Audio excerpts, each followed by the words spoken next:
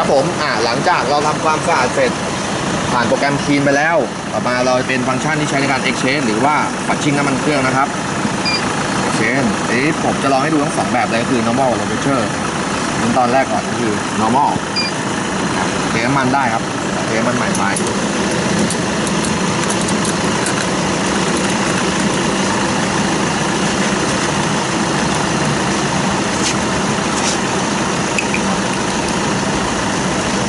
ันนี้เป็นน้ำมันผัดชิ่งนะครับ สูตรพิเศษของ SK นะครับ อยู่ในช่วงการทดลองอยู่นะครับ ระหว่างเทก็ตาช่างก็จะขึ้นน้ำหนักอยู่เรื่อยๆนะครับ นิวดูผ่านน้ำมันใหม่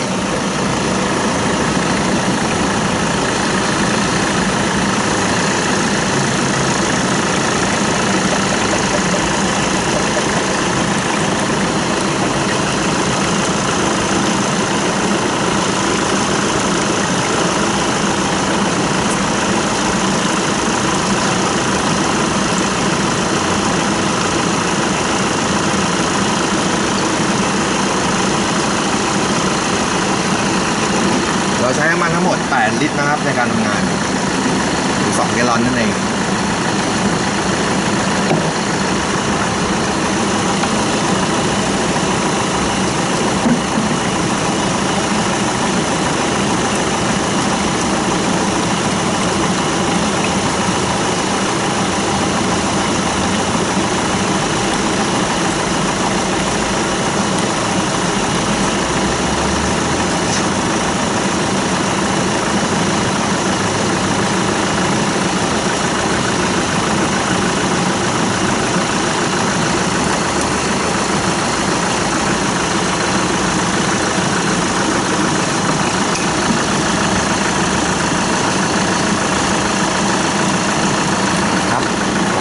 เติมมันเสร็จแล้วปริมาณน้ำมันใหม่นะครับ อยู่ 8 ลิตรนะครับ 8.02 ลิตร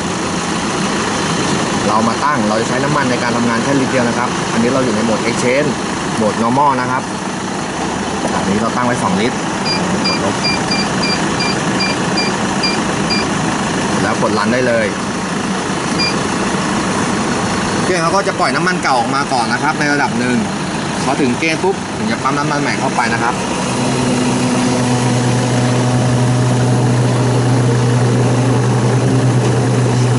นี่คือสีความ แตกต่างครับระหว่างน้ำมันเก่า กับน้ำมันใหม่ที่ใช้ในการปัดชิ่งนะครับ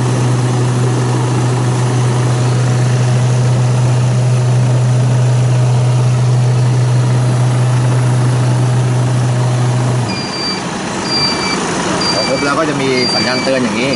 ว่าการทำงานเสร็จสิ้นน้ำที่เราตั้งไว้ก็คือ 1 ลิตร อันนี้คือ exchange แบบ normal นะครับ ต่อไปเป็น exchange แบบ low pressure หรือให้แบ็คออกมาก่อน แล้วก็ไปใหม่ ไป exchange นะครับ แล้วก็ low pressure เหมือนเดิม เราจะตั้งน้ำมันอยู่2ลิตรในการทำงานนะครับ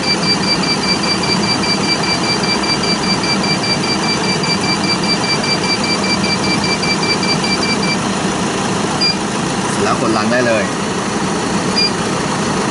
น้ำมันเก่าก็จะวิ่งออกมาก่อน ฟังก์ชัน Exchange Low Pressure การทำงานเขาก็คือเขาจะมี step การทำงานของเขาคือ ออกทีละครึ่งลิตร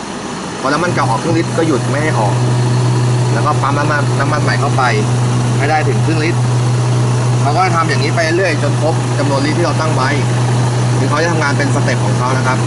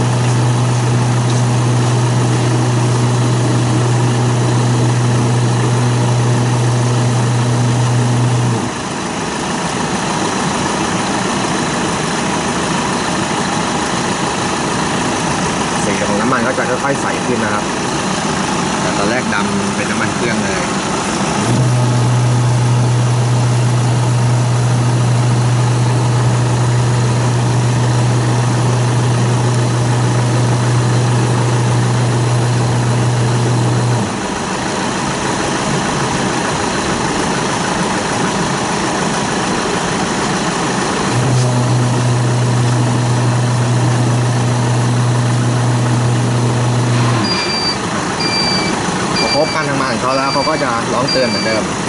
ทีนี้สีของน้ำมันยังใส ไม่พอที่เราพอใจนะครับ อยู่ในเกณฑ์ยังยังไม่เรายังไม่พอใจก็คือ มันยังดำอยู่ยังมีความดำมากเมื่อเทียบกับน้ำมันใหม่ ที่มีความใสมากเลย ทีนี้เรากดรันต่อไม่ได้ครับ เพราะว่ามันยังค้างคำสั่งเก่าอยู่นี่ยครับเราต้องออกโปรแกรมก่อนแล้วมาเข้าใหม่คือเข้าโปรแกรม Exchange เลือกเป็น Low Pressure นะครับ นี่ผมจะเล่นน้ำมัน 4 4 ลิตรเลยนะครับตั้ งมาแล้วกดรันเหมือนเดิม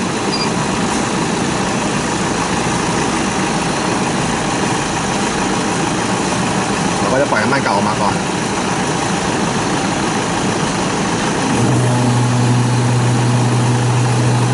ถ้าน้ำมันเก่าไม่ออกปั๊มก็จะไม่ดันน้ำมันใหม่เข้าไปนะครับ เป็นการ safety ของเครื่อง safety กรณีน้ำมันเกียร์เกิน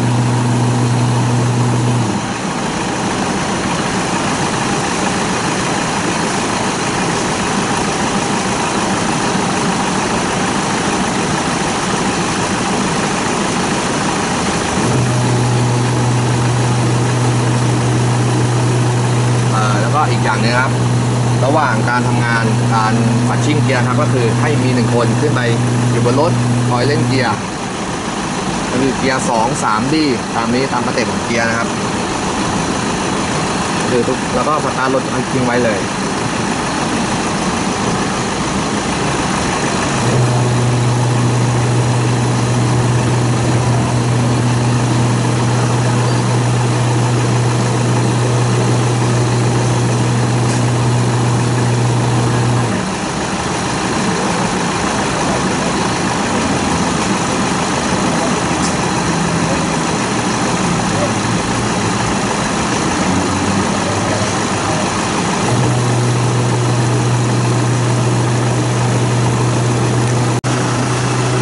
อะครับผม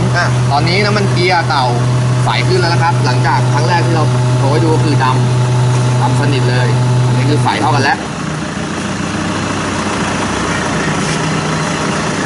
รอให้เขาครบระบบของเขาก่อนก็คือเราตั้งไว้สองลิตร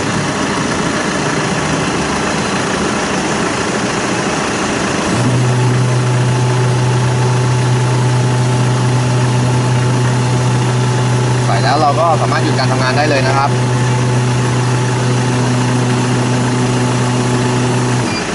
ครับ ก็คือน้ำมันตอนนี้เท่ากันแล้วคือเติมเข้าไปเท่ากันกับเกณฑ์ฝั่งที่น้ำมันออกนะครับแบ็คกลับนี้เราจะมาดูการวัดน้ำมันเกียร์คือรุ่นนี้เป็นวีโก้5เกียร์นะครับจะไม่มีการวัดจะเป็นน็อตเช็คเอาหรือว่าน็อตล้นนะครับก็คือให้ไปถ่ายเปิดรูน็อตเช็คเป็นหกเหลี่ยมครับเดี๋ยวให้ช่างเขาเปิดถ่ายน็อตออกมาได้ดูได้เลยนะครับ เสียงอาจจะดังนิดนึงนะครับ เปิดน็อตออกมาแล้วของออกมาแล้ว ไม่มีน้ำมันเกียร์แสดงว่า น้ำมันเกียร์ยังขาดอยู่นะครับอ่าเปิดออกมาแล้วพบว่ายังไม่มีน้ำมันเกียร์นะครับ เราก็มาเติมน้ำมันเข้าเข้ามาเพื่อที่เครื่องครับ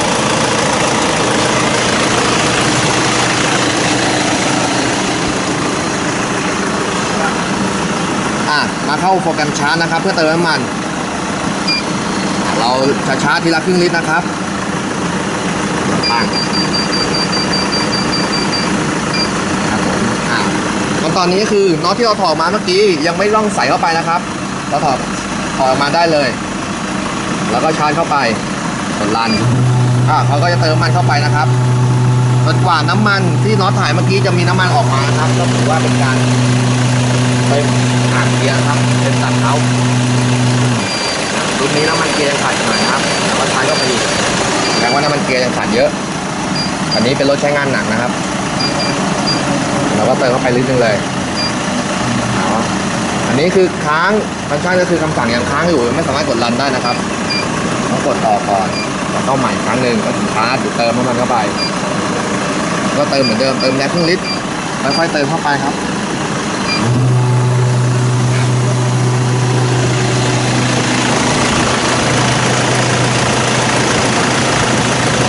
เติมไปก่อนจะมีน้ำมันล้นออกมานะครับ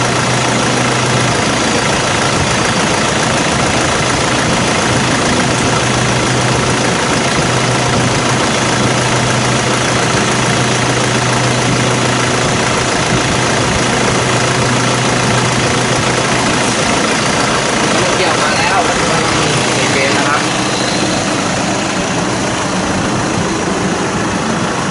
์ น้ำระดับน้ำมันอยู่ในเกณฑ์ปกติแล้ว ก็เป็นการจบขั้นตอนการฝัดชิ่งนะครับ